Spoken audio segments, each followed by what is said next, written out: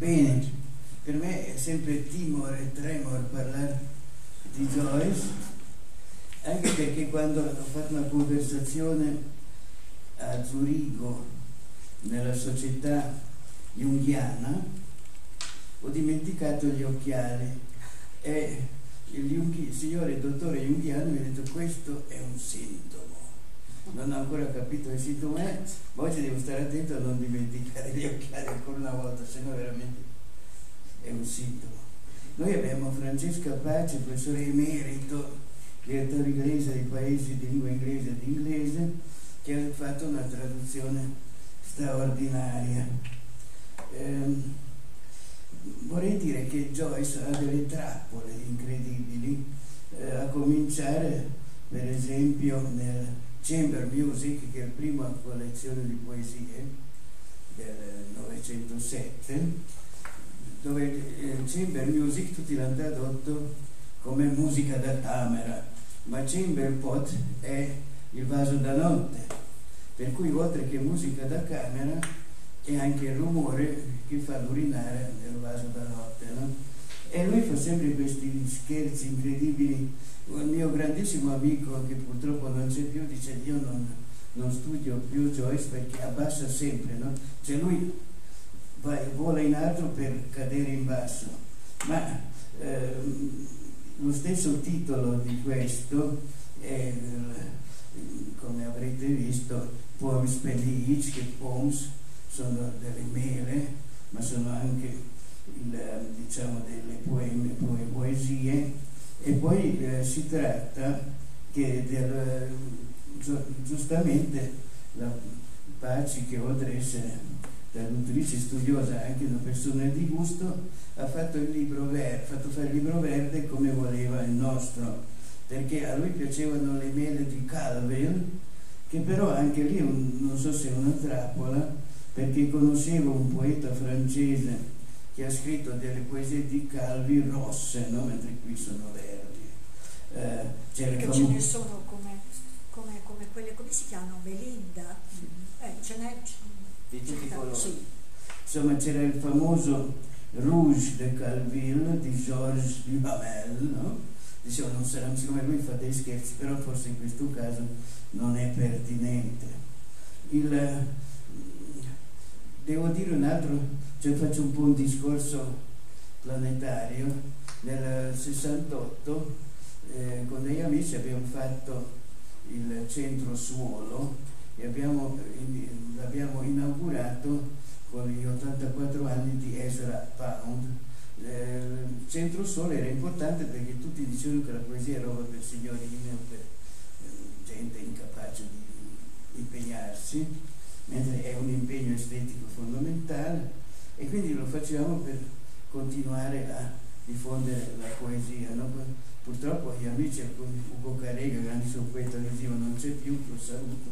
Beh, comunque è venuto il Pound e in quell'occasione ho conosciuto anche Mary Rapervils, che sarebbe la figlia, Mary Pound, la quale in quell'occasione mi disse a Pound queste poesie del Pons non sono piaciute facevano, dice, non pubblicarle affatto, per dire che non sono di facile lettura, sono ottime poesie, a Paolo non piacevano eh, per vari motivi, gli sembravano troppo legati alla vita privata.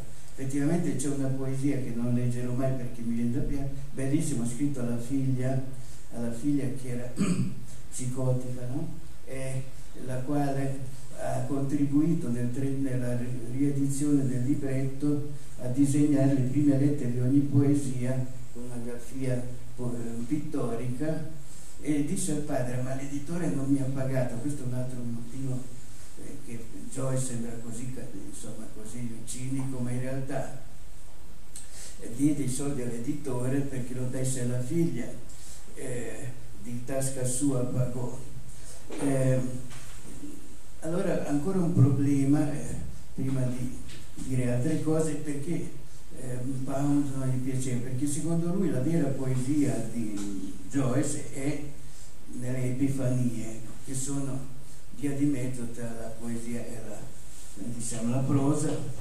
Lui lo definì come improvvisa rivelazione della qualità di una cosa momento in cui l'anima eh, di cose dell'aspetto più comune eh, rivelano attraverso la radianza la loro essenza. E qui tutti quelli che sanno chi è Tommaso d'Aquino, nettamente l'estetica del grande Aquinate, no? Cioè quindi Joyce è spaventosa anche perché ha una, una cultura, come diceva Umberto enciclopedica e chiamò Epifania questa cosa per motivi di questo tipo di illuminazione e su questo si potrebbe parlare a lungo. Eh, ancora una parola su Pound che dice siamo governati dalle parole, le leggi sono scolpite dalla parola, la letteratura è l'unico mezzo per far sì che queste parole rimangano vitali e precise. Ed effettivamente Joyce è molto vitale, ma eh, non preciso in senso romantico. Preciso per senso romantico, Matthew Arnold diceva poetry attaches its emotion to an idea, the idea is the fact. La poesia eh, unisce l'emozione a un'idea e l'idea è il fatto. Ora, la poesia invece del nostro grande, e la prosa di Joyce rifiutano la monumentalizzazione assolutizzante dei significati no? E esaltano la lettera, come del resto si vede a Finnegan inchinati davanti alla lettera. Eh, quindi è semanticamente eversivo, diciamo così, polivalente per dirlo in modo tecnicamente basso, o armonicamente eh, polifonico, no? E quindi anche le poesie probabilmente sono di una difficoltà, io non ne ho capito per niente, adesso ci dirà lei. Cioè io eh, ho passato dieci anni a studiare fino a Gensweg, alla fine mi sembrava di averlo capito, mi ricordo l'amico Segre dice è un po' troppo, no? non dedicherei mai grande filologo, dice a uno scrittore più di un anno non posso dedicare, mentre all'amico Sepiri non piaceva perché dice ogni volta per esempio SOS, same old shit, la vecchia merda, insomma eh, lui ha sempre un, un, significato, un altro e un altro ancora, per cui, come diceva giustamente Romana Paci, la sua non presume di essere l'assoluta traduzione, ma è un'offerta di lettura, no? Mi sembra che tu abbia detto. Sì, l'ho detto. Ecco, vedi. Non lo credo proprio, ma Cioè l'offerta di lettura vuol dire che ci sono molte letture possibili, la sua è bellissima, è quello che conta.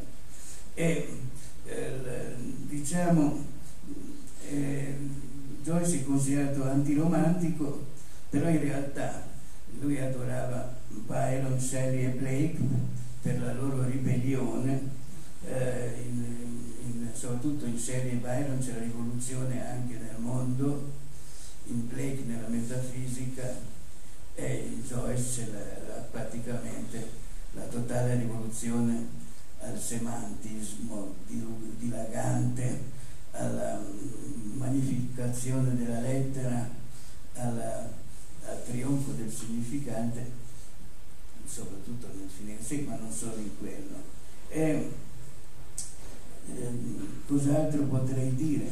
In queste poesie poi dico solo che quello che mi ha colpito leggendole senza capire del tutto è che ci sono citazioni dall'opera italiana, oltre che riferimenti all'opera, quindi Verdi, Puccini, Bellini, no? E su questo forse tu ci chiarirai. Quindi ecco è una grande occasione di incontrare Joyce, che nella vita non è stato, non ha fatto rivoluzioni, ma nella mente dei lettori e dei cultori della letteratura è un rivoluzionario quasi non superabile e non superato. E quindi gloria a James Joyce. Mi sentite anche se non uso qui? Ah, ho capito, ho capito, non dire più niente. È ancora acceso. Eh, vabbè, sì, eh, scusate, ma non è possibile non pensare. Eh, vorrei subito collegarmi a Tommaso per dire una prima cosa che dico sempre per qualche ragione sembra sempre nuova. James Joyce è nato nel 1882, è morto nel 1941 ancora oggi quando si parla di Joyce si sente dire da molte persone ah, a me queste cose moderne. Moderno cosa? È nato più di cento anni fa, Joyce non è, a noi ancora adesso lo consideriamo il nec plus ultra dell'espressione letteraria, si è detto dopo Joyce il romanzo morto, non posso raccontarvi tutto quello che si è detto, ma Joyce è invece ormai vecchio di più di cento anni. È vero che noi lo consideriamo ancora moderno, però secondo me non abbiamo pensato a due o tre. Giustamente Tomasi dice è un rivoluzionario, non è un romantico. Io oserei dire che è talmente rivoluzionario da essere tutto, perché Joyce riesce anche a essere intensamente romantico. Chiunque per esempio ha l'amore che Joyce mostra per Verdi e in particolare, devo dire, per Otello e forse i pezzi che vengono fuori di più proprio in Finnegan's Wake, ma anche in altre cose, sono i pezzi più strappacuore come per esempio quello della Pleiade Ardente, il duetto tra Desdemona e Otello in cui si dicono eh, io ti amavo per la tua pietà, tu mi amavi eh, per le mie sventure, insomma se lo ripetono varie volte, e non solo. Eh, andava a teatro, abitava a Trieste, allora soprattutto a Trieste che si è occupato dell'opera italiana, il teatro non era molto lontano da dove viveva, ha vissuto in vari parti a Trieste, ma Trieste piccola si andava sempre a piedi. E Joyce era un frequentatore non solo assiduo, quasi maniacale del teatro Verdi e sentiva una quantità di musica e anche di opere che noi adesso considereremo magari non tra le più sentite, non, non le, più, le, più, note, ma certamente amava moltissimo Verdi. Cioè, um, insomma, quello che voglio dire è che Joyce noi lo continuiamo a considerare moderno ed è morto nel 41. Non è ancora vicinissimo al centenario della morte, il centenario della nascita è passato da molto tempo, e noi continuiamo a considerarlo assolutamente moderno. Questo volevo dirlo perché quello che a me colpisce di più di Joyce, al di là di quello che lui ha scritto, ci sono anche tre volumi grossi così di lettere più tante altre, e io credo di averle lette praticamente tutte, in cui si vede che Joyce era sì un rivoluzionario quando scriveva, ma era un padre di famiglia, era nei suoi gusti per esempio per la sua casa, per l'arredamento, per i vestiti, estremamente Biedermeier non voglio dire da fiori di cera sotto la teca di cristallo, ma quasi. Certamente quando descrive eh, vestiti, abiti, soprattutto l'abbigliamento femminile, è estremamente Biedermeier. Allora forse bisogna un po' correggere il tiro. Rivoluzionario sì per quello che scrive, perché ha queste intuizioni straordinarie eh, che eh, in realtà non sono rivoluzioni a realtà sono, eh, come eh, dei critici francesi eh, hanno detto, un eh, realismo poussé spinto all'estremo. In Dubliners, che non è la prima cosa che ha scritto, è un pochino più complicato, sta di fronte e guarda come a teatro. Nel portrait racconta se stesso, entra un pochino di più in un realismo che si avvicina al flusso di coscienza. Nell'Ulisse ci entra ancora di più. Se, per esempio, ecco, per abbreviare, perché poi voglio parlare delle poesie, pensate ai pixel, cioè alle immagini che, che noi abbiamo sul computer e il numero di pixel eh, determina la maggiore chiarezza dell'immagine l'avvicinamento maggiore. Ecco, in Finnegan's lui ha una quantità enorme di pixel, si avvicina moltissimo e crea un'immagine che è proprio poussé il realismo molto più di quanto non abbia fatto eh, di quanto non abbia fatto i francesi eh, che parlano di realismo e di naturalismo, lo fa molto di più. Quindi ogni tanto mi viene voglia di correggere il tiro, ma questo posso essere io. Parliamo ora di queste poesie. Eh, potrei continuare a parlare di Joyce per tanto tanto tempo, adesso questo tempo non c'è. perché io sono arrivata a voler tradurre queste poesie. Ho cominciato tanti anni fa, più o meno negli anni 70, eh, a casa di un'amica che eh, è morta molto recentemente e io li ho ritirati fuori dopo che lei è morta. Non tanto per dedicarglieli, ma perché li ho ritrovati tirando fuori le sue lettere e alcune cose che avevamo, che avevamo avuto in comune. Perché io ho voluto tradurli? Perché evidentemente le tradizioni precedenti non, non mi piaceva, non, non mi piacevano, insomma, non assolvevano un compito che naturalmente è discutibile, naturalmente ancora c'entra Pound, si può tradurre la poesia. Che cosa della poesia? Non vi racconto la teoria poundiana, secondo Pound qualcosa passa e qualcosa no. Certamente l'aspetto eh, non soltanto quello armonico ma anche quello melodico non passa. Eh, e era ben cosciente di che differenza c'era tra melodia e armonia ed chiaramente preferiva, strano a dirsi, la melodia per alcune cose. Eh, aveva, ripeto, gusti che erano molto più vicini a Verdi e a Biedermeier che non a una rivoluzione schoenbergiana posteriore. Naturalmente quando si dice ci sono alcuni critici francesi, di nuovo per esempio Jacques Soler, che direbbero non è vero.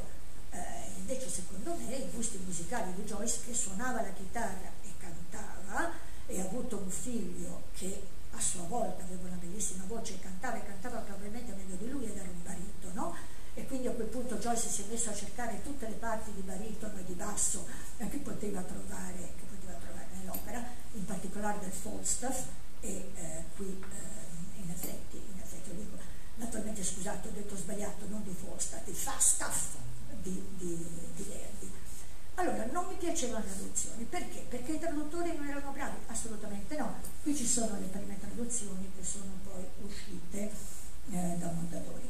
Ma non avevano potuto, non avevano avuto tempo di leggersi tutte le lettere, di leggersi tutto quello che Joyce aveva prodotto. Un secolo l'ho letto in maniera a, a macchia di leopardo, eh? anche perché poi le macchie che leggo me le scordo, allora poi le devo rileggere. Mm non è, non è una cosa facile. Però certamente per tradurre queste poesie bisogna fare un'operazione che, è, che è un'operazione fondamentalmente scorretta. Bisogna riferirsi a tutto quello che lui ha scritto e questo è corretto, cioè immaginare che tu sei ti ma anche riferirsi alla sua vita. E questo per noi, eh, di base crociani a scuola, quando io a scuola sono, avuto sempre professori crociani, non è corretto. Però lui, Joyce, ha fatto come Louis Pacnis, che è un altro grandissimo poeta irlandese che io ho tradotto un po' di tempo fa. Ha modificato la sua vita e ha rappresentato la sua vita facendone una rappresentazione che ovviamente la deforma, che ovviamente la simile ovviamente a quella che avviene nella tempesta di Shakespeare, una metamorfosi, e quindi è diventata letteraria, è diventata opera sua, ma purtroppo elementi sono necessari per produrre. Passiamo a queste poesie. Queste poesie le ha scritte, non cito esattamente, ma vi dico dalle lettere, perché stava scrivendo Finnegan's Wake. Tutti dicevano che era cervellotico cerebrale, incomprensibile, illeggibile, voglio dimostrare che sono facilmente leggibile, che so scrivere in maniera semplice. Tanto semplice che quando Montale ne ha tradotte due non erano montaliane, eh, diciamo assolutamente, e quando Pavese li ha avute in mano e gli hanno chiesto di tradurre, Pavese ha detto jamais, assolutamente, non voglio neanche provarci perché mi irritano. E molti altri hanno detto che le trovano irritanti. Perché io l'ho fatto, vabbè, perché ognuno ha le sue perversioni, l'ho fatto perché mi piaceva, mi piaceva farlo. Però anche perché leggendole, e leggendole devo dire eh, in Irlanda la prima volta, ho visto qualche cosa che finora non è stato visto, che a quanto pare, a giudicare dalle recensioni, eh, adesso viene accettato. Che queste poesie non sono disunite, non sono casualmente buttate lì per far vedere che so scrivere in maniera facile, sembrava a lui perché facili non sono, ma sono sistemate in una struttura ben precisa, in una cornice. Se noi pensiamo a quello che ha scritto Joyce, meno Stephen Hero, e già perché naturalmente si riferiva a Hero, quindi a qualche cosa che era già una struttura, tutto quello che ha scritto Joyce è sostenuto da una struttura portante, da una scatola, mettiamola così, da una scatola. Dubliners perché sono le storie di un individuo rappresentato in varie età differenti da diversi individui, il portrait sostanzialmente sono cinque atti come nella tragedia greca e anche seguendo le parti della tragedia greca, ma non è soltanto quello, Ulisse sappiamo tutti, e l'Odissea, Finnegan's Wake e la ballata di Tim Finnegan. Ebbene, queste sono sostenute da una struttura di diventa triste. La prima esperienza della morte e il momento in cui ci si rende conto, morirò anch'io. E tra la prima esperienza della morte e morirò anch'io, ci sono delle pene. Quindi il titolo che ha avuto l'attenzione maggiore che hanno avuto queste poesie, che hanno una bibliografia relativamente molto breve, è il titolo, perché ci si è visto di tutto, naturalmente anche il pene, questo eh, è ovvio. Anche io ci ho visto il pene, ma plurale di pena in italiano. Per lo più sono state scritte eh, in Italia, fra l'altro, una a Dublino, la tredicesima, e se si leggono, pensando alle lettere di Joyce, alle date, a quello che gli avveniva e anche a tutti i legami interni, ci si rende conto che sono quello che io ho messo in un titolo che è già un'interpretazione. Poesie, una pena, una. E ogni poesia rappresenta una pena. E questo dimostra in un certo senso segue anche quello che io ho detto quando vi ho detto che Joyce, giovane rivoluzionario a 20 anni, poi invecchia, diventa padre, ha due figli, è preoccupato per i figli, è preoccupato per perché deve mantenere quei figli, ha gelosie per la moglie. Eh, Nora era una bella donna ed era anche una donna eh, con una sessualità abbastanza prorompente eh, e comunque eh, gli uomini gelosi non hanno bisogno né di sessualità prorompente della moglie né di nient'altro per essere gelosi. Eh, è completamente inbred, loro proprio, è una caratteristica propria. Insomma, lo vediamo proprio come un uomo che passa dalla gioventù alla maturità e ha anche un altro grande problema, che naturalmente è della vita, ma che diventa anche un forte della sua poetica. Joyce invecchia male, ha un enorme, terribile problema di occhi e siccome è mito poetico in maniera estrema, mi, non solo metamorfizza, ma mitomorfizza tutto quello che gli succede, questo processo verso la cecità, per lui diventa un percorso letterario e mitizzante, mitizzante di se, di se stesso. E queste poesie sono 13, dovrebbero essere 12, ma la prima si chiama Tilli. Tilli è un primo problema di traduzione che in genere viene lasciato esattamente com'è o viene considerato il nome, il nome di una persona, non è assolutamente così. Eh, Tilly è la anglicizzazione di Tillage, che è gaelico per aggiunta, ed è quello che veniva fatto a Dublino quando si andava a comprare il latte o si andava a comprare le mele e dai panettieri ancora adesso, o si è fatto fino a poco tempo fa, quando si va a comprare il pane. Difatti in inglese si chiama baker's dozen, però viene fatto di più col latte. Non so se voi avete mai comprato il latte in una manga col visorino, ve lo riempiono e poi col vistorino aggiungono ottilli, una cosa in più. Allora, siccome questo è nel vocabolario anglo-irlandese, tilli, l'anglo-irlandese non è esattamente l'inglese, è appunto l'inglese che si parla in Irlanda da svariati, svariati secoli e che si è modificato a contatto eh, naturalmente con il gaelico irlandese che per la storia della lingua, perché la storia della lingua ovviamente cambia. Allora io ho cominciato nel primo a tradurre i tigli, non a lasciare i tigli, a mettere aggiunta perché aggiunta, aggiunta è. Sono 13 invece di 12. E dopodiché vorrei passare alle poesie, perché vorrei raccontarvi qualcosa delle poesie. Lui scrive in rima, altra, e non solo in rima, ma scrive in una rima semplice, non scrive in rime difficili. Non dico che rima cuore amore, ma quasi l'equivalente.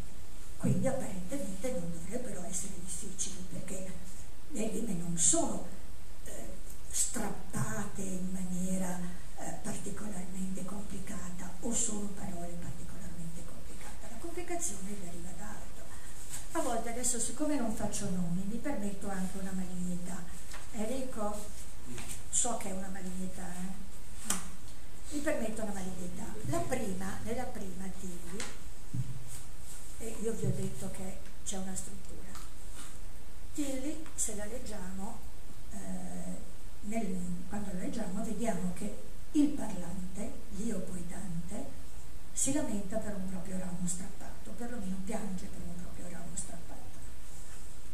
Ci sono state le interpretazioni più straordinarie di questo, eh, ma anche quelle che forse mh, mm, qualcuno potrebbe, potrebbe, accettare, che non, la più mh, mm, nota, la più normale è che fosse appena morta sua madre, cosa che di fatti era successa.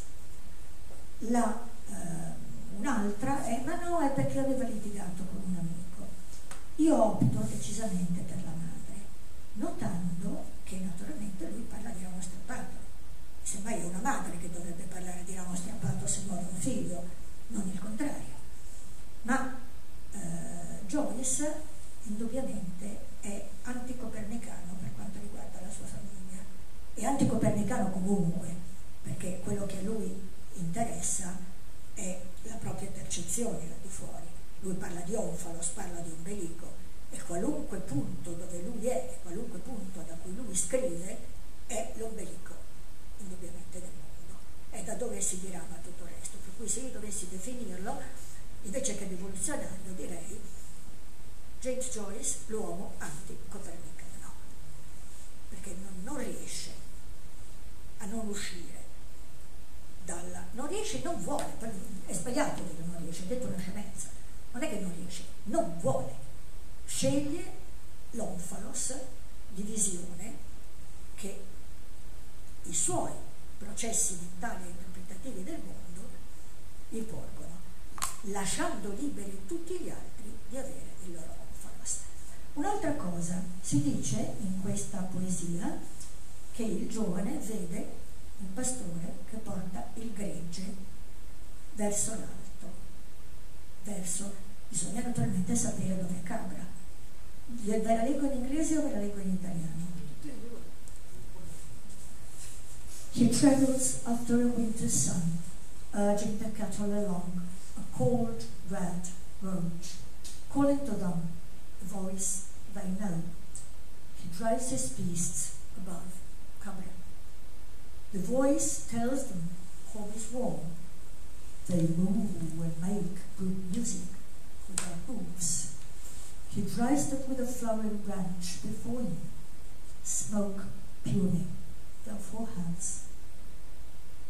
War, bond of the herd, tonight stretched full by the fire, I bleed by the black stream for my torn heart. Ora, Ehm, quello che io dicevo alla mia malignità, una interpretazione statunitense parla di somiglianze con D'Annunzio e con eh, la famosa poesia. E non è possibile, prima vanno in su e eh, in D'Annunzio vanno in giù. Settembre, settembre andiamo ai tempo di migrare. Vanno verso il mare. E poi perché eh, non ci sono migrazioni del genere eh, in Irlanda e poi perché Cabra, cui lui parla, sobborgo di Dublino, che adesso tutte case, allora invece aveva anche prati e quindi aveva anche pascoli. Quindi molto probabile che il pastore irlandese avesse portato le bestie giù a mangiare, adesso le riporta nella stalla, ma certamente non è eh, l'Abruzzo, eh, questo era soltanto per eh, leggerla in italiano, magari poi la potete leggere voi. Comunque, Viaggia verso un sole d'inverno, spinge la mandria per una fredda strada rossa.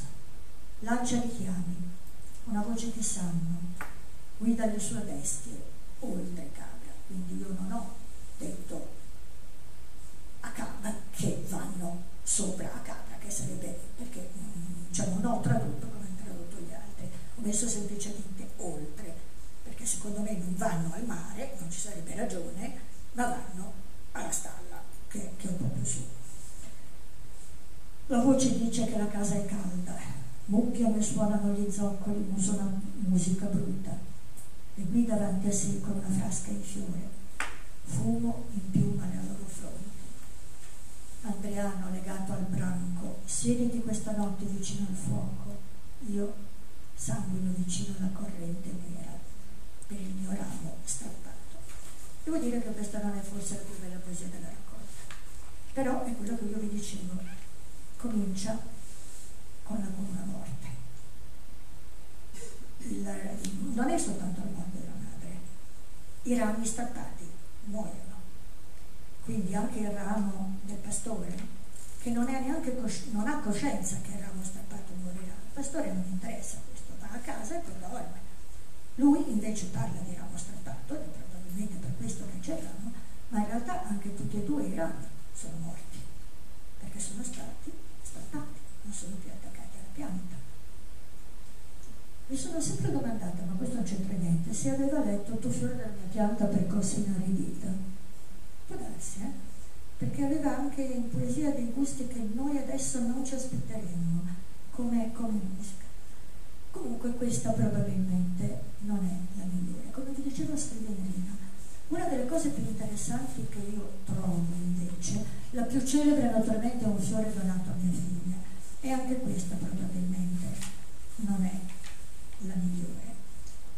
Ma eh, una cosa che io trovo bellissima delle poesie in inglese è l'uso che fa di un verso brevissimo che noi conosciamo, se leggiamo un Saffo, perché è il quarto verso della Saffica minore. Ed è estremamente interessante questo, perché il quarto verso della Saffica minore si chiama Adonio e devo abbreviare per forza, perché se comincio a parlare dell'Adonio di nuovo ci vogliono 10 lezioni per parlare la, una cosa che a me ha mh, colpito molto è che l'adonio, senza nessun collegamento col Saffo, ben inteso, è molto usato nella liturgia cattolica.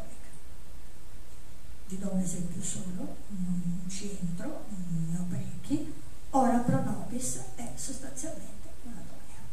L'adonio è formato in genere da un dattilo e poi da un piede di che spesso è un trocheo, qualche volta è uno spondeo. Se è uno spondeo si crea una lievissima cesura di lettura fra le due lunghe, se no va pensate Ora Pro Nobis.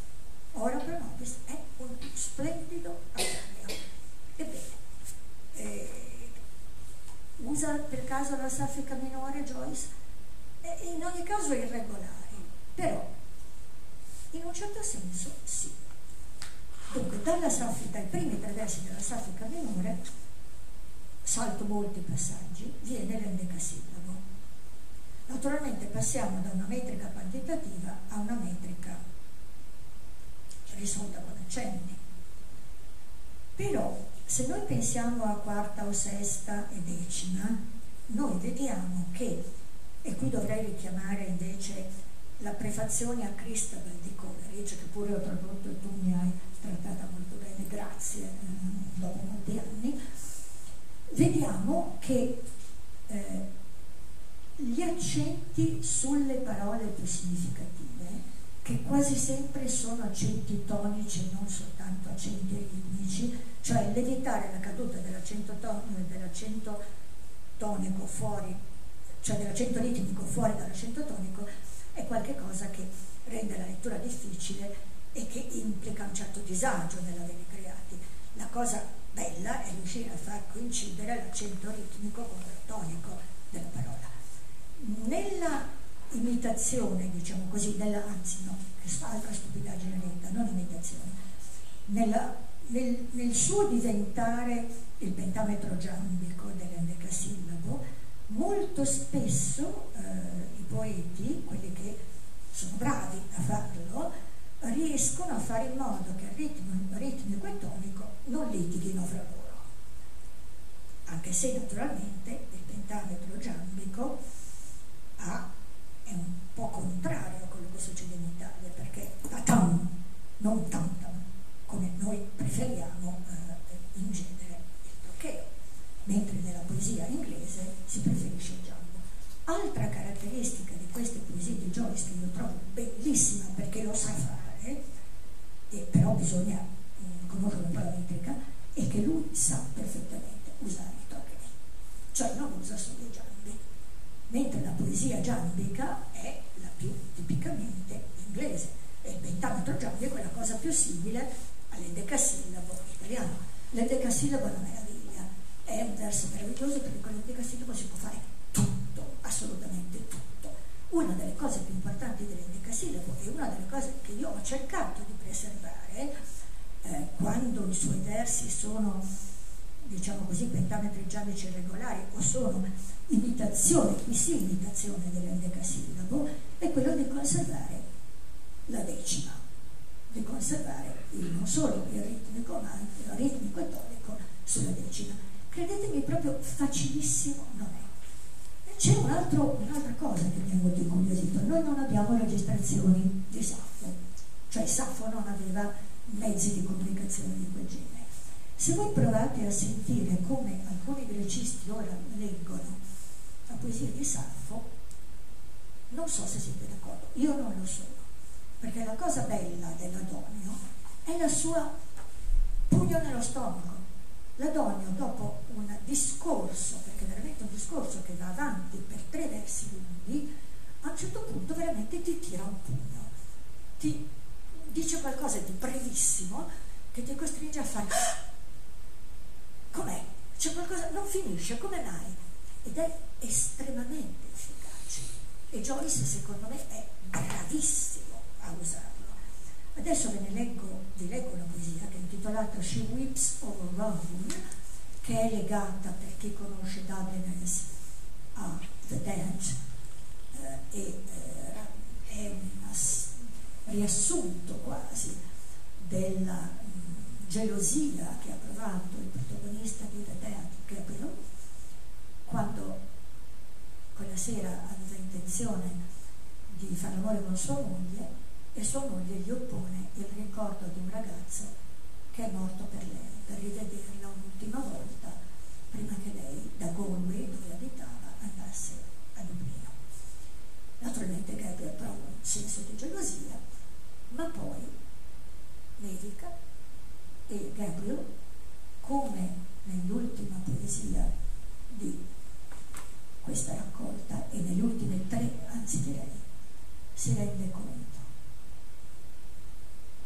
quel ragazzo è morto, tra un po' moriranno anche le mie vecchie zie e poi morirò anch'io, perché moriremo tutti. E invece questo di dargli dolore, gli dà un senso di pace nella coscienza che tutti quelli che nascono devono morire. Eh, c'è un ricordo di Tia Serio? Mm, non so, Forse è più vero il contrario, secondo me, ma possiamo discuterne per cento anni e non arriveremo a una conclusione. She weeps over Rahun, Rahun è un posto, è un luogo irlandese e quindi non è traducibile. Eh, in inglese è molto più bella che in italiano. Rain or Rahun falls softly, softly falling, when my dark love loves. Sad is his voice that calls me, sadly calling. A grey moonrise. E questo è il quarto verso. Love, hear thou, how soft, how sad his voice is ever calling. Ever unanswered, and the dark rain falling. Then, as none. Dark to our hearts, O love, shall lie and cold, as his sad heart has lain out of the warm grey nettles, the black mould, and muttering rain. tre versi brevi sono A grey moon rise, vanish now, a muttering rain. E arrivano come un pugno, tutti e tre. In italiano ho fatto quello che potevo, ma insomma, lui è più bravo. La pioggia sulla polca di lieve, lieve cade, dove il mio scuro amante giace. Triste la sua voce mi chiama, triste chiama, nella grigia alba lunare. Amore, lo senti tu, come lieve, come triste, la voce ancora chiama. Senza risposta ancora, e oscura la pioggia cadeva, allora come ora. Oscuri anche i nostri cuori ora, giaceranno e freddi, come il suo cuore triste da allora giace, sotto le antiche grigio luna, il mucchio di terra nera, i sussurri di pioggia. E i tre versi sono diventati più lunghi, ma nella grigia alba lunare uno, allora come ora, meglio l'altro, i sussurri di pioggia, meglio il terzo. Perché ho tradotto la grigia lunare, ve lo mm, voglio dire, perché qui sì, secondo me, c'è un omaggio di Joyce a Enrico Boito. Quindi non soltanto a Erdi, perché Joyce si comprava sempre i libretti e perché, e questo non è stato di nuovo riconosciuto da alcuni commentatori, che per esempio quando lui cita eh, Otello, il libretto di Otello, che è di Arrigo Boito, che è assolutamente splendido. Ah, Arrigo Boito era anche un compositore, eh? il Mefistofele non è niente male, proprio assolutamente niente male. Non meravigliatevi, io avevo un nonno melomane, un padre che conosceva molta musica, una madre che suonava il pianoforte, sono stata tirata su dal Girognoni. Quindi, evidentemente, sono entrati nella mia vita già due anni, credo. Eh, allora, eh, questo commentatore, quando Joyce cita Arrigo Boito, dice questa è la traduzione di Joyce del testo shakespeariano, che non è assolutamente vero, perché Joyce non ha tradotto Shakespeare, prima di tutto. E non solo, ma commenta anche sulla stranezza della traduzione di Joyce. Ovviamente non è la traduzione di Joyce, è il testo di Arrigo Boito e quindi non, non poteva che essere una traduzione strana. Ora, ehm, quando eh, a Joyce ho detto, cominciava a scrivere la sua prima poesia che era Giovane della Dublino ed era secondo me morta sua madre. Le altre le ha scritte tutte ad intervalli. Le ha messe insieme prima del 1927, quindi nel 1926, a Parigi e ha, dato a queste poesie la forma che hanno adesso, cioè una forma organizzata. La forma non c'era all'inizio, non è questa volta preordinata è lui che, avendo sempre bisogno di un contenitore, di una forma, questa è la mia eh, interpretazione, ha dato questa forma legata al dolore e alla morte. Da dove lo deduco? Dalle sue lettere. E le lettere sono estremamente esplicite. Qualcuna qui la cito, non molto, perché se scrivevo ancora due pagine l'editore non mi pubblicava più e ci sono circa 36 pagine di postazione a 13 poesie corte, quindi ho, ho tirato proprio fin dove, fin dove potevo. E nelle lettere è chiarissimo, perché lui scrive alla Weaver, per esempio, che, quali sono le date esatte, quali sono i luoghi esatti, racconta alcune altre cose. Naturalmente si lamenta anche che Pound gli ha detto queste poesie sono da album, da album di famiglia. E è un po' offeso perché Pound in quel momento stava difendendo un poeta che secondo lui era un poetastro, lo dice, quindi non sono io adesso che lo dice lui chiaramente. Pound aveva ragione, ma non lo so, perché secondo me, per esempio, Pound non si è reso conto che rispetto all'imagismo queste poesie sono degli ottimi esempi di imagismo. Eh, e d'altra parte Paolo in quel momento voleva andare avanti con Filippo Manfredi, quindi l'idea delle poesie per giunta facili, per giunta familiare e per giunta io arriva, mm, probabilmente non gli andavano, io non sono molto d'accordo con Paolo. Detto tutto questo, non soltanto io dico che c'è una struttura, dico che questa è la stessa struttura di Dublines, che cominciano con la morte, il bambino che si rende per la prima volta conto della morte perché muore il parente, e alla fine l'adulto che si rende conto che morirà anche lui. Vi ho detto, queste secondo me non sono, eh, questa è una abbastanza bella, ma eh, quella che viene dopo, per esempio, tutto è sciolto, e questa volta viene da Bellini eh, e da, eh, da, da, in realtà non è esattamente un duetto, ma ne sono comunque il vino che eh, pensa che eh, la sua amata Joyce pensa che Nora lo abbia tradito, poi si scopre naturalmente che era un amico geloso che ha raccontato delle cose non vere. Di nuovo qui c'è l'uso per me bellissimo del, della donna. A birdless heaven, see dusk, one lone star, piercing the west, as thou, fond heart, love's time so faint, so far, rememberest. The clear eyes soft look, the candid brow, the fragrant hair, falling us through the silence falleth now, dusk of the air. Why then, remember the shy, sweet lures, repine when the dear love she yielded with a sigh was all but thine? Um, I tre belli, tre incredibili eh, versi brevi, naturalmente sono tre versi lunghi come nella saffica minore, e eh, quello breve sono Air, was all but thine. Naturalmente se uno sente Bellini capisce di più, perché almeno a un certo punto dice perché non posso odiarti. E anche qui viene fuori il perché non posso odiarti. Un cielo senza uccelli, mare scuro, una sola stella trafigge l'Occidente. E tu, cuore stolto, il tempo del lavoro è così tenue, lontano. Ricordi. Lo sguardo tenero di giovani occhi chiari, la fonte candida, la chioma fragrante, cadente, come dentro il silenzio ora cade l'oscurità dell'aria. Perché allora? Mentre ricordi quelle dolci timide lusinghe provare pena, se il caro amore che concedeva in un sospiro tutt'altro era che tu? Me lo sono lavata con gli adoni, ma non bene come lui. Devo saltarne moltissime, quella che io, quelle che io preferisco vengono dopo. Ce n'è una perché poi il tempo stringe, naturalmente intanto lui invecchia, come vi ho detto in queste poesie, parla della morte della madre, poi parla della figlia, un fiore donato a mia figlia, di altre cose, poi parla del figlio, poi comincia a parlare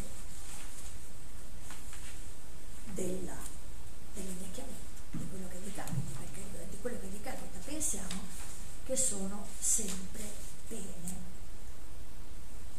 Cioè, non è forse più difficile, vediamo se, se, riesco a girare la pagina con, con una mano, ecco. Questa è intitolata Alone, è scritta a Zurigo ed è ambientata a Zurigo sul lungo lago. The moon grey golden meshes make all night a veil. The shore lamp in the sleeping lake, the burning tendrils trail. The sly weeds whisper to the night a name, a name, and all my soul is a delight, a swoon of shame. Grigio dorate tessiture di luna fanno della notte intera un velo. Lampioni sul lago addormentato tracciano tracce di laburno. Il canneto astuto sussurra alla notte un nome, il suo nome, e tutta l'anima mia è un diletto, un delibio di vergogna. Sono riuscita qui a riprodurre molte assonanze e consonanze. Non so che ora è, forse c'è tempo per una ancora. Volevo chiederti una cosa. Ma no? certo. Cioè, io assolutamente non capisco il diletto con la vergogna. No? Eh, eh, bisognerebbe qui purtroppo bisogna pensare certo. a chi è la donna. E, e, sì. e evidentemente eh, non è sua moglie. Sì. Eh, e probabilmente a Paolo non piaceva questo fatto che si capisce solo se si riferisce a cose esterne, no? Cioè non è un'autonomia, non è eteronomia, no? Non lo so, questo non lo so, perché eh, pensa all'episodio di Nausicaa, ma naturalmente siamo tutti adulti, insomma, eh, potrebbe, diciamo così, avere un'avventura di autoamore. È detta in maniera abbastanza educata? Sì, è un'idea un po' di corsa di automobili. L'autoamore, no? Ma però è molto meglio quello che non si può dire. Operazione proprio, non so come dire. Autoerotismo. Sì, sì. No, come no, scusa, sì, sì. No, eh, no guarda, non, sono, non, non, non arrossisco assolutamente, cerco solo in questo gusto edificio di eh, no, però, eh, Nausicaa è quello che è, eh, Ulisse l'abbiamo letto tutti. Ci sono anche dei suggerimenti, e questo devo dire mi piacciono un poco. Io ho letto parecchi dei libri autobiografici sui componenti della famiglia joyciana, se devo dire non mi sono piaciuti, punto. Eh, l'eccesso di autobiografia, mh, beh insomma, se devo essere sincera mi irrita un po'. Eh, io trovo che c'è una eh, coerenza in, in, questa poesia, per esempio, lungo, lungo il lago, eh, che non mi rende particolarmente curiosa su qual è l'essere femminile eh, per cui c'è questo autoerotismo. Eh, oppure naturalmente la supposizione è che questa vergogna sia dovuta al fatto che eh, pensava a una donna alla quale non avrebbe dovuto pensare. Uff, continua a trattenermi a dirlo, che pensasse alla figlia, ecco. Eh, questo è stato suggerito un paio di volte. Eh, io lo trovo particolarmente sgradevole, eh, naturalmente non lo, posso, non lo, posso, escludere, chi di noi? Mm, direi che mm, preferisco rimanere nella coerenza di questi pochi versi così come sono e intanto nella capacità che, che Pound nega di creare un paesaggio che se vogliamo ha qualche cosa che potrebbe addirittura diventare cinese.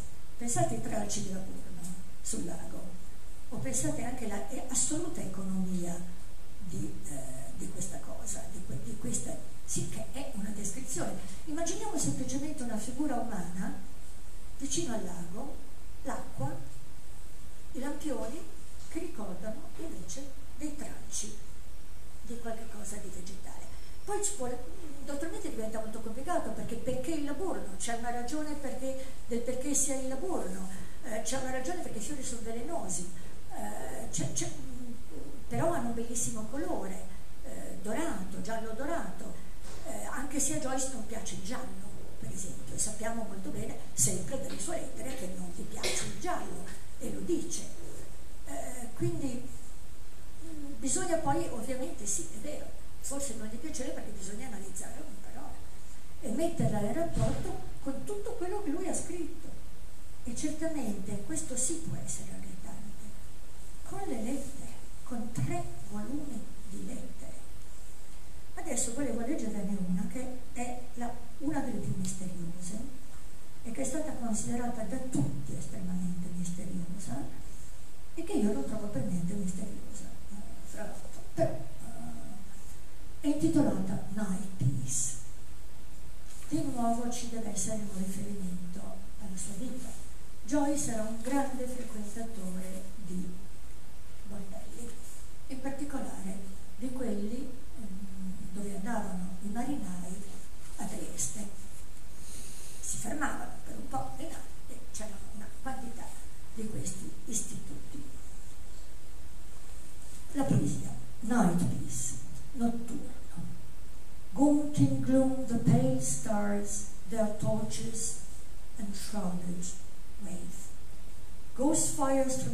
Far faint in gloom. Arches on soaring arches, nights seem dark, nave. Seraphim, the lost host awaken to service, till in moonless gloom each lapses muted, dim, raised when she has, unshaken, her durable the long and long and loud, the night's naves up soaring, a star knell tolls as the bleak instant surges, cloud on cloud, void from the adoring waste of souls. È effettivamente una poesia difficile. L'immagine, ve ne siete già accorti, è quella di una grande chiesa che però è la notte stessa. Il soffitto della chiesa è il buio della notte. Sparute nelle tenebre pallide le stelle, le torce loro velate ondeggiano. Spiritici fuochi da lontane falde di cielo tenui illuminano. Archi su archi, archi su ascendenti archi, la navata di scuro peccato della notte. Serafini, le schiere perdute si risvegliano al servizio,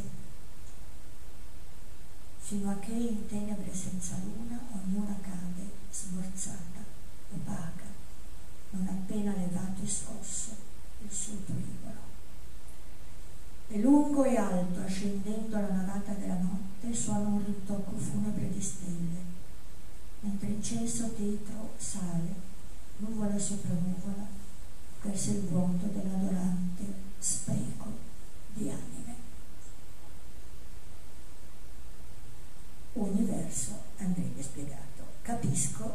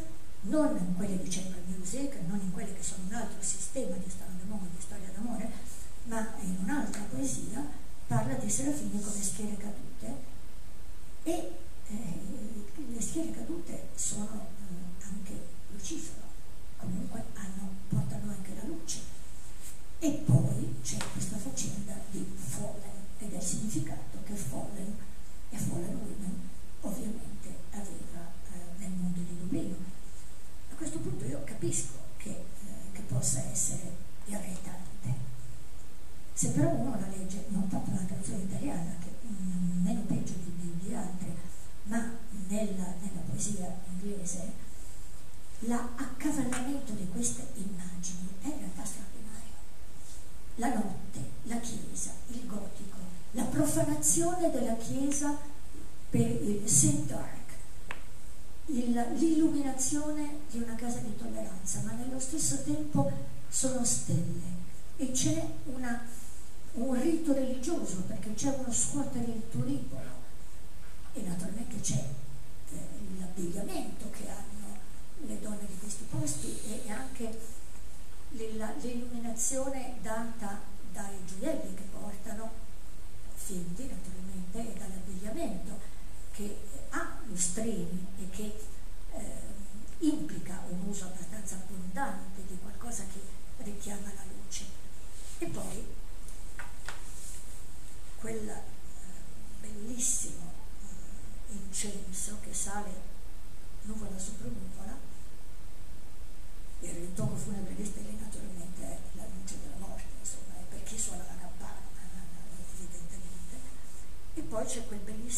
waste of soul, che di nuovo risuona come un adonio e che pone dei problemi. Cosa vuol dire waste? Io l'ho tradotto con spreco e sono convintissima che sia spreco. Naturalmente c'è stata la wasteland, a questo punto c'è già stata. E che cos'è waste? Waste è qualcosa che non si usa in effetti. La, la terra desolata con waste è una traduzione che ormai non si può mai più cambiare, è un monumento, ma non è eh, quello che voleva dire T.S. Eliot. Il waste è quello che poi troviamo anche in Geronzio, non Geronzio, come vogliamo pronunciarlo, è un pezzo di, di, di, di, terra che non è né coltivato né costruito, eh, né usato, neanche asfaltato, niente, è waste, terra sprecata eh, se qualcuno di voi va a rileggere eh, Geronzio vede che anche T.S. Eliot non la tratta in maniera, la tratta, la desacra in un certo senso, quindi forse terra desolata è anche un po' troppo sacrale. D'altra parte qui il gioco di sacrale e desacrato è continuo in tutta la poesia, legato all'immagine, legato all'architettura, legato al contrasto di luce e ombra, legato al contrasto di quello che la luce può dire nel buio e quello che il buio può dire alla luce. E poi alla fine la campana e sono le stelle. Naturalmente le stelle non possono rintoccare, ma le stelle twinkle twinkle in un certo senso. E l'intuizione del rintocco delle stelle per me è straordinariamente efficace da parte di Joyce. E lo spreco di Adene lo trovo finale bellissimo, anche se non è affatto una condanna del Sim Dark. Lo spreco è forse quello che ascende inutilmente. Ricordiamoci però che Joyce è probabilmente non credente, non è un credente, ma è intriso di cattolicesimo da quando nasce e lo è completamente fino alla fine. Io non, naturalmente non so che ora è, spero che eh, magari abbiate qualche curiosità, ce ne sono indubbiamente molte, perché io ho anche qualche libro, purtroppo l'edizione sta finendo, eh, per cui ne ho pochi perché stanno, non so come mai, ma stanno, stanno già finendo. Eh, spero che concluda tu. Ecco, avete assistito a una cosa straordinaria secondo me, perché queste poesie sono più difficili, ma io per anni ho studiato Malarmé, difficilissimo, ma è niente in confronto a questo. Cioè, eh, quindi, no, fantastico come sei riuscito a ricondurre alla logica del senso, lui l'ha fatto esplodere, no? Senza e, le lettere non ci riuscivo. Sì, sì. Comunque, sono le lettere che... Sì, cioè, forse, per esempio, all'Adonio mi viene in mente anche mm, Foscolo quando traduceva Saffo, no? Certo. Eh, lui lo faceva benissimo in italiano. Ma il, a parte questo, no, giù il cappello sia per l'accenno ai giambi, eccetera, tutto molto preciso, che generalmente non si fa. È una lettura straordinaria ma eh, per concludere, perché a uno può non piacere? perché è talmente difficile, insomma, o uno si sente imme- immediatamente idiota, che è uno degli effetti di Joyce, no? lui, lui dice inchinati davanti a queste lettere nel Finnegan's, no?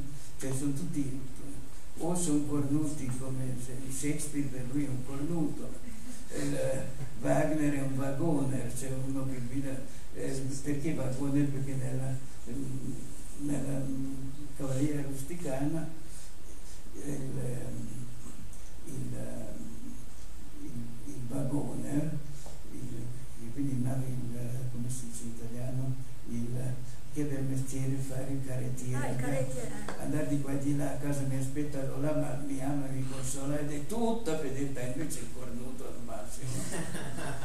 Beh, ma perché gli piaceva Foster. Sì, sì, Io qui non l'ho detto, ma le, molte, alcune delle traduzioni, lo dico nella notte, sono eh, di nuovo legate al libretto, di nuovo perché c'è, c'è, soprattutto alla fine, no?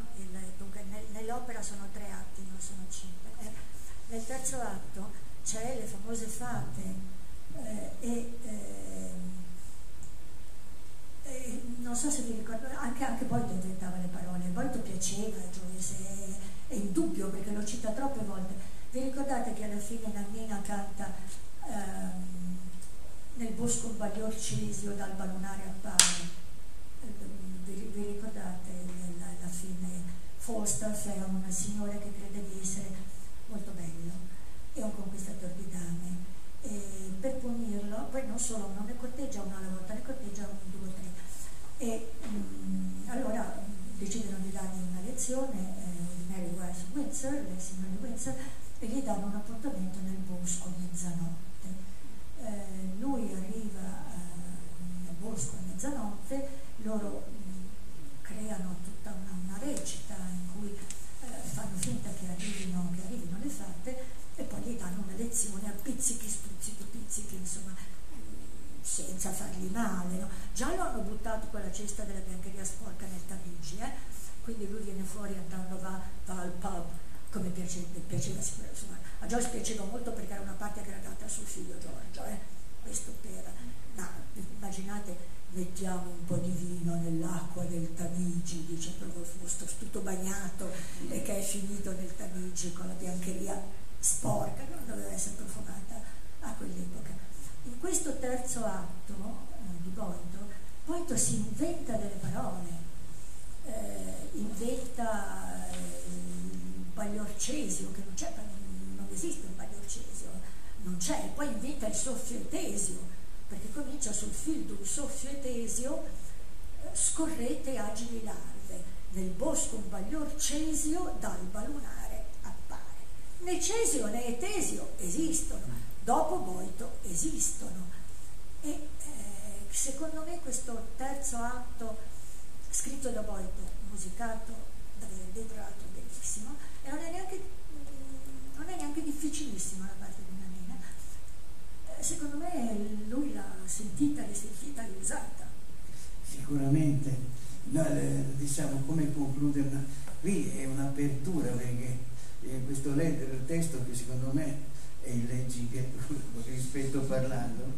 Eh, tu l'hai leso? Sì, ci ho messo 36 pagine per dimostrare. No, no, no, hai dimostrato che è leggibilissimo, ma a patto che uno abbia una conoscenza dell'œuvre totale, no?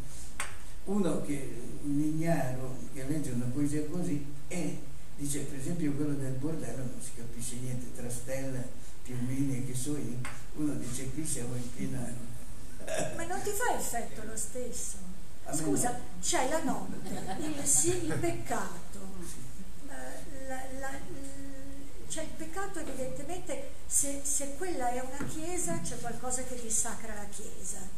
È vero che uno può anche andare in chiesa a dissacrarla, insomma, però gli elementi ci sono, perché la notte c'è, il peccato c'è, il peccato è oscuro, e d'altra parte nella simbologia cattolica né il peccato nero, nero di peccato. E, e la Chiesa indubbiamente c'è, perché parla di navata, quindi non è che te lo manda a dire, te lo dice. Ecco, sono frammenti. Comunque no, io dico che queste poesie sono bellissime leggendole no, in inglese, magnifica la traduzione, non è colpa tua se il significato viene esploso dall'originale. Per esempio, The Moon's Grey Golden Measures Make, verso bellissimo con allitterazioni, tre, moon, meshes make, tre allitterazioni, così via. È, una musica, no? Cioè io dico questo. Le allitterazioni certe volte ho dovuto cambiare lettera, non sì, puoi sì. allitterare con le No, ma non dico tu, ma lui è un vero musicista del silenzio, del silenzio del senso. Per me, io penso che ogni lettore può farne quello che vuole. Tu ne hai fatto un uso ottimo perché hai fatto un lavoro intertestuale, no? e quindi sul cappello è così che si fa, è fantastico. Con questo cosa posso dire? Eh, essendo la casa della poesia, è una poesia straordinaria, fuori dubbio di grande valore, pur tuttavia eh, richiede un lettore di es- enorme esperienza dell'opera totale. No? Invece ciò non toglie che cos'è il valore per me? È il suono, la lettera, la sua musica è stupenda. Se mi dicono cosa vuol dire, io dico vuol dire che tu sei un imbecille, canta e danza, no? E allora io canto e danzo e, e mi, mi allegro, allegro tutto, ma di bordelli non ne trovo uno aperto. Guarda che anche l'ultima, poi che è una preghiera altrettanto blasfema. Eh, sì.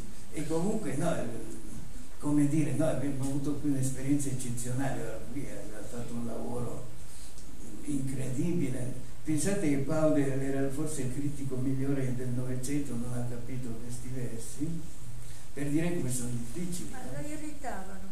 Comunque senti, le mi pare tre delle traduzioni italiane sono state musicate come tesi di laurea da uno studente di conservatorio a Trieste. Me lo ha telefonato la settimana scorsa, me le aveva già chieste, eccetera.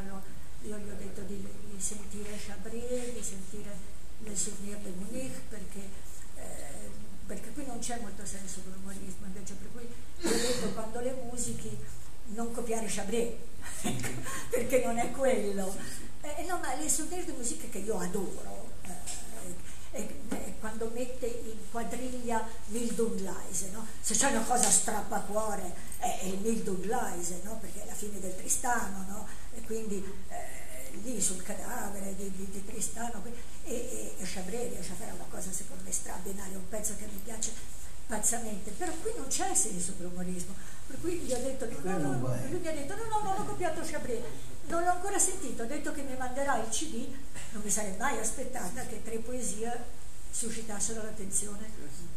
Eh, si sta laureando in composizione al...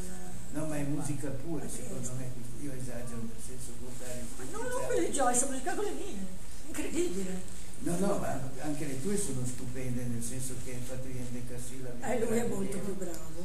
No, io, no, perché adesso parlavamo di lui, la traduzione eccezionale ed è un valore in sé, questo è già, cioè anche se non abbiamo l'originale, sono belle poesie. Ma che grazie. E questo è sicuro. Però io dicevo dal punto di vista della poetica, no?